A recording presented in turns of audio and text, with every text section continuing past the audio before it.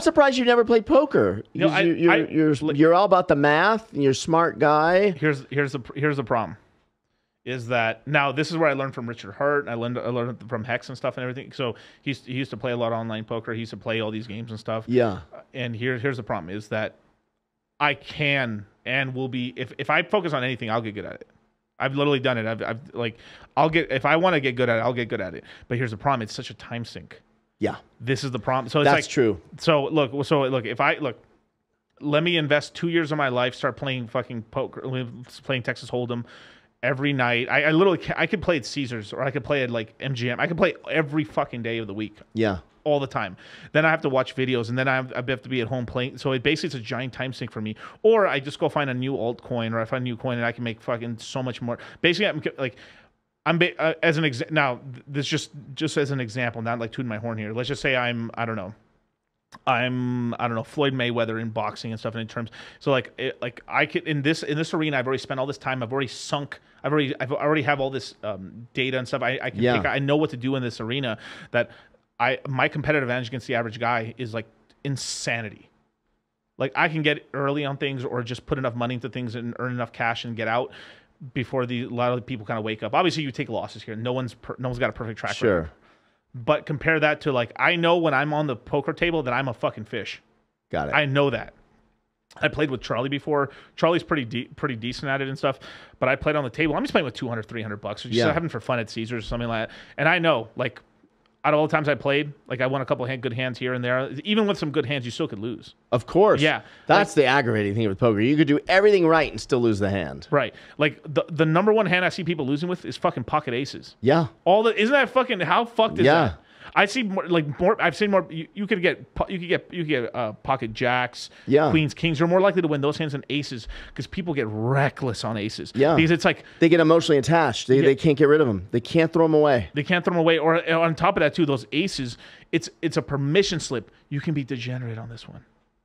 So let me just yeah, I'll call three hundred. Two thousand. Oh, he called me. Oh shit. Oh fuck. Got him, dumbass. Yep. and then like, oh fuck, he's got a straight. Or He's Right. got. The, Yeah. He flopped a set of threes. Yeah, I'm like, Yeah. oh my, look, well, that, isn't that infuriating? It's so infuriating. but but that's that's the sort of thing is like for me, like I could do the math in my head, time sink, like with craps, that was so easy. I picked that shit up, you know the strategy, and then now it's just more about just dice. That's simple, but that's fun. This is why I like to play games like Slay the Spire. Slay. The, there's a game like called Slay the Spire, really great game. It's you can just shut it off anytime you like. So I like I, I used to be I used to be a um, professional World of Warcraft player back in like was 2008 to like 2010 ish, maybe 11 ish, and then I stopped because I was losing my life on that game. Um, I, I like I have that addictive personality, and I used to have it for video games. What I did is I took that, so I was like, let me take this into the money making avenue. So let me put it into my business, and eventually I was able to turn like uh, I was able to turn a very bad business into start making some real money. And then I went into crypto, and that's what that was what it gave me that skill is like I focused my energy into like business and kind of making money. Yeah. And then on a really bad business because like the, you know they they the, the profit margins are horrible. Then I got into a business where it was really good, and then on and then into investing where it's even incredible, and I'm like I'm killing it. So I'm like wow. Versus like poker, like if I win the best tournament in the world, like I'm making eight hundred thousand dollars, which which actually is a fuck ton of money if I could do it. But the the amount of time, like I, I don't like you have spent that. you actually could have done that because you've already invested that time in. right. And that's the thing for you.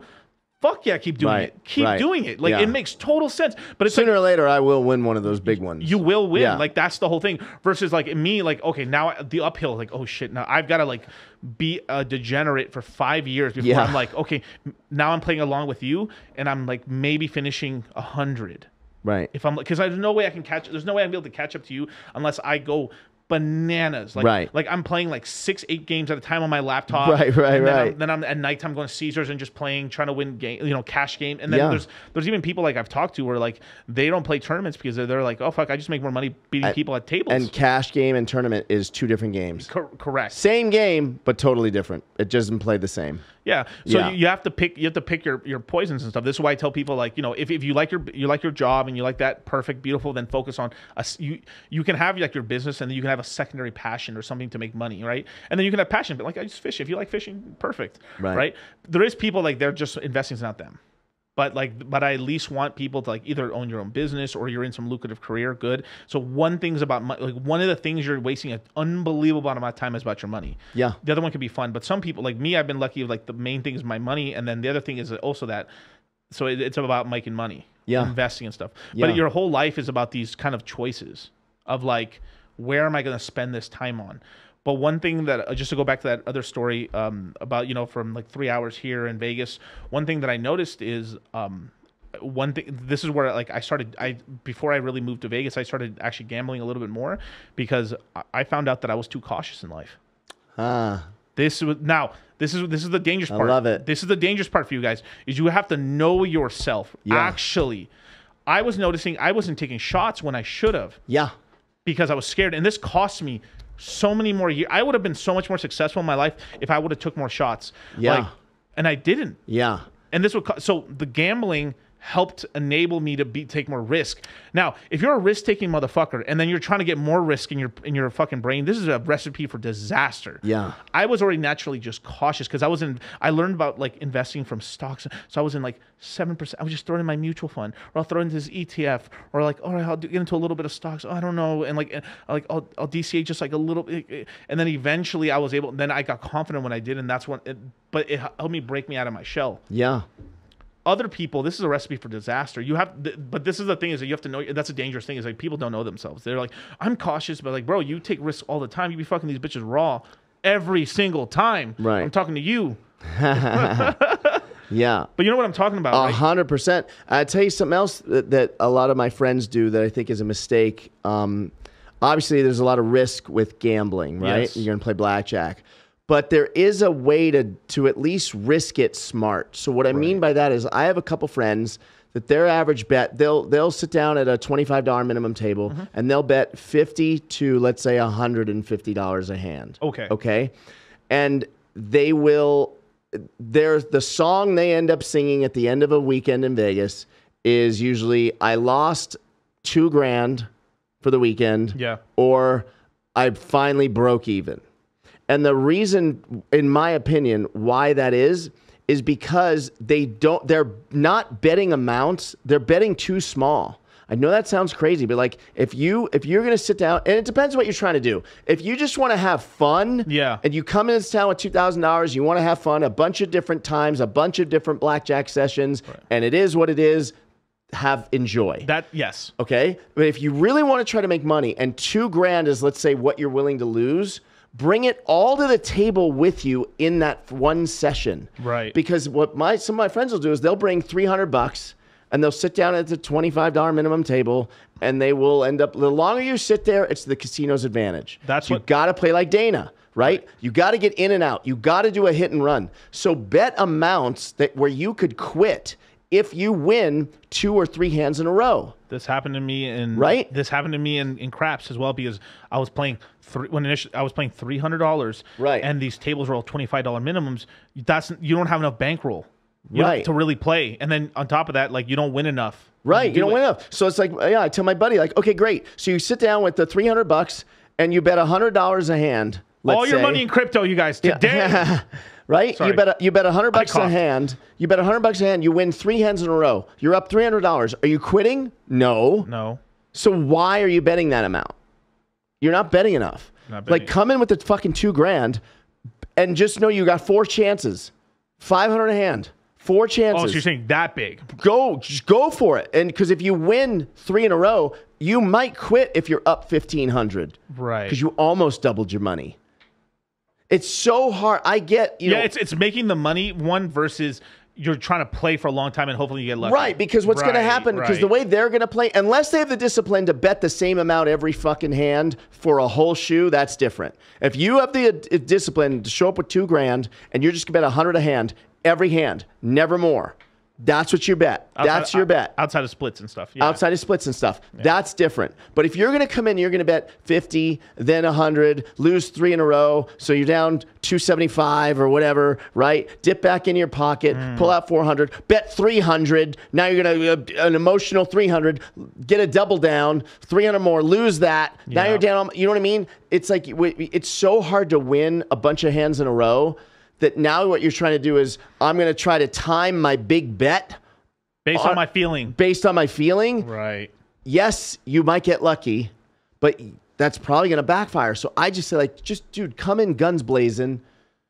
If you if you're willing to be really real with what's the dollar amount you're willing to lose, really be real with yourself and like, what is my normal? Let me take inventory. My last six Vegas trips, I averaged a loss of twenty eight hundred bucks. Right. Then show up to the fucking table with twenty eight hundred and come in like a fucking psychopath. Right. And bet like a lunatic. and try to catch your two or three hands in a row and dip And dip out. Now, and play 10 minutes. L- now let me let, let me tell you guys about this like in crypto terms you guys. This is the same thing. There's guys who are like tippy toeing into crypto. Yeah i won't take it too seriously. I'm not gonna i'm not gonna get educated or i'm not i'm not i'm just gonna put a little bit of money here. And then they'll what ends up happening i've seen so many guys where they'll they start off with a very small amount of money and they have then all their money into it. Mm-hmm. When and then they're they don't know what they're doing and then they lose all their cash. This happens a lot in crypto. It happens a lot in anything really. Yeah. so it's like it's like this is why we say like all right you're gonna be like all right I'm gonna get into crypto. Cool. This is how much money I'm gonna have total to invest. Cool. I'll do a couple DCAs over time but this is what my initial starting and then you take it seriously and you fucking commit yourself. You take the crypto mindset course then from there you you know how to fish then from there you you start hunting you start making these these coins and then you you wait. Versus like I'm just gonna fuck around for a while now I'm gonna take it seriously and then I'm gonna lose all my fucking money Right. and that's the whole thing. It's about like the, the intention, basically, Right. right. And the whole thing is you're not telling people to fucking gamble their No. entire fucking fortune. You're just like, this is what this is what I'm gonna play for the weekend. I'm gonna play it all in these. Let's go. Yeah. Show up to the table with it. Right. P- bet amounts that if you win two or three hands in a row, you could quit. Right.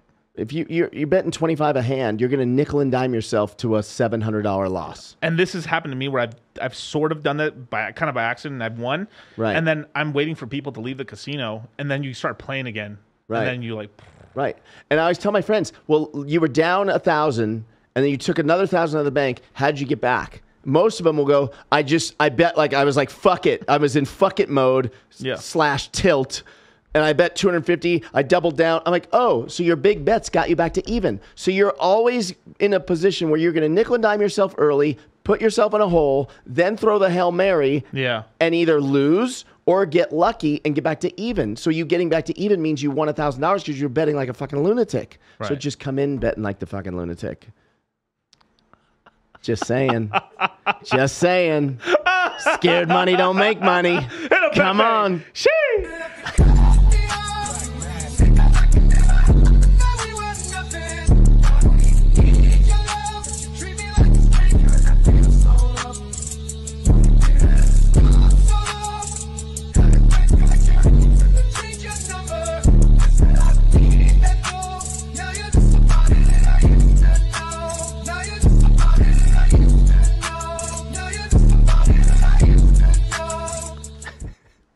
God damn, man. Shout out to mom, man. We love you, mm. brother. I'm glad you're back. But we're making life changing money. That's right, Kyle. John's a sicko. Respect, man. I love it, man. Take a loan out on the house, sell the wife. Fuck it. Degenerate party of one. Your table's ready. Degenerate party of one. Last call.